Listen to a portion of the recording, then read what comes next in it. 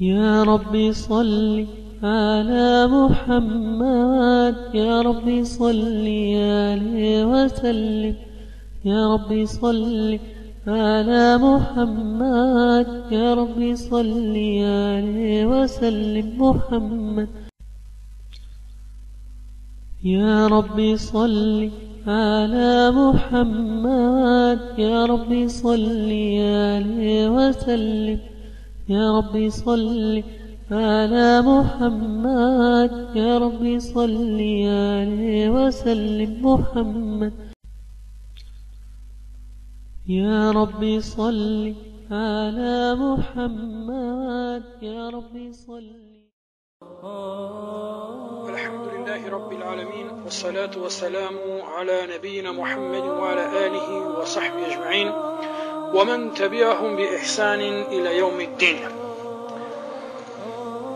Благодарноста и славата му припаѓаат на Аллах Джелле Джелалуху, со чие име го започнуваме секој добар разговор, секоја добра работа, секој добар акт.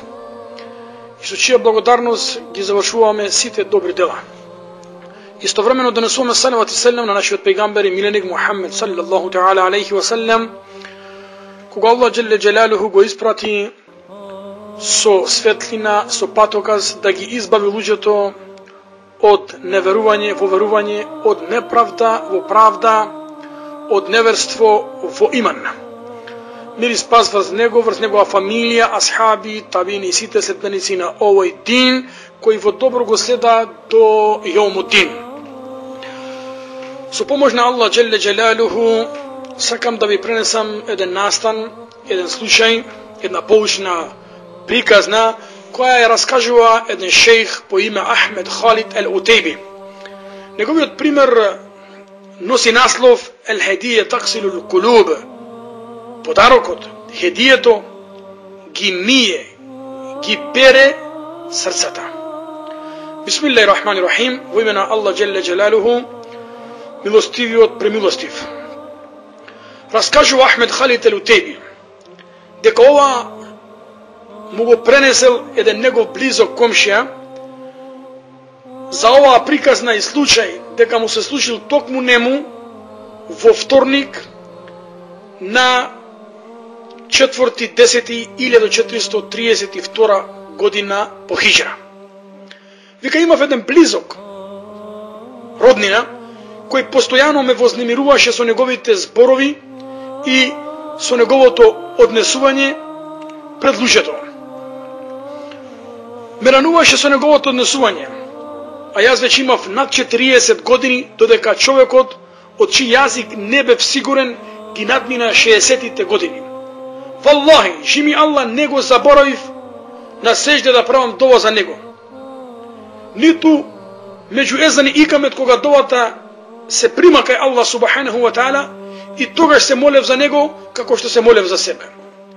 Се сеќавам во една прилика бевме во еден меđлис, во една седенка, а јас бев намирисан со убав парфем. Па еден од присутните рече, Маша Аллах, мат јабеху. Маша Аллах, колку прекрасен и пријатен мирис. А тој беше во наша близина и само рече, може би тој мирис го украл. Му кажав на брат му за овој случај, што сака брат ти од мене? Јас не знам што си му, му сгрешил. Што сум му направил за толку да ме вознемирува, да ме провоцира со неговото однесување. Неговиот брат ми рече, Аллах да го пати неговиот брат. Потоа му кажам на еден близок пријател за мојот случај со него, па ми порача и ме советува со еден насихат, со еден совет и ми рече вака. Ти порачувам да одиш до некој трговски центар и да купиш скапоцен подарок и потоа да го посетиш во неговата куќа и да му кажеш дека го сакаш во име на Аллах и дека овој подарок, ова хедие е доказ дека го сакаш. И немој многу да се задржуваш кај него, туку најди такво погодно време, како на пример меѓу Акшам и Ација, да го посетиш. Тавакалту ала Аллах, се потребна на Аллах азза ва Jalla, го послушав неговиот совет и отидов во една позната продавница по мириси и парфеми и му купив скапоцен подарок, скапоцен подарок, фаллахи, неговата вредност беше над 1200 риали. Тоа е прилично околу 250 до 300 евра. Вториот ден отидов кај него дома. Затропав на врата, ми отвори со намуртено лице и ми рече, мада турит, ен тетхул, што сакаш, да влезеш? Му реков, не дојдов во твојата куќа за друго нешто, освен да те посетам и да те поздравам. Влегов кај него и разменивме пријатен разговор. И потоа на крај побарав дозвола за заминување, бидејќи настапуваше времето на Ација намаз. На крај му реков, те молам, те молам, дојди со мене, во кола имам нешто за тебе. Дојде со мене, ја отворив колата, го извадив скапоцениот подарок и му реков, земи, хуз, хадихи хедијето минни, ова е подарок од мене за тебе. Жими Аллах, јас те сакам во име на Аллах и ова е најмалку што можам да ти го дадам. Знаете што се случи? Знаете ли што се случи? Валлахи заплака со солзи и ме прогарна, ме прегарна, ме гушна и ми рече, те молам да ми простиш. Жими Аллах, јас грешив кон тебе. И признавам дека не постапував коректно кон тебе. Овој пример, практичен пример и вистинит пред се, ни кажува како добрата постапка го освојува срцето на непријателот. И тоа е потврда на Аллаховите зборови во сура Фусилет, ولا تستوي الحسنة ولا سيئة и не се исти доброто и злото. Итфа биллети хија ахсен. На злото возврати му со добро. Фе иза леди бейнеке во бейнеху адаве, а меѓу тебе, меѓу оној кој има непријателство кон тебе, ка еннеху валиун хамим, ќе ти стане присен и близок пријател.